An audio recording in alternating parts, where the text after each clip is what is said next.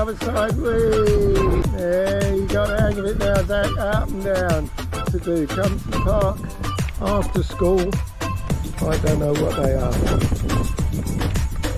No, and then you come back down. Yeah, that's good.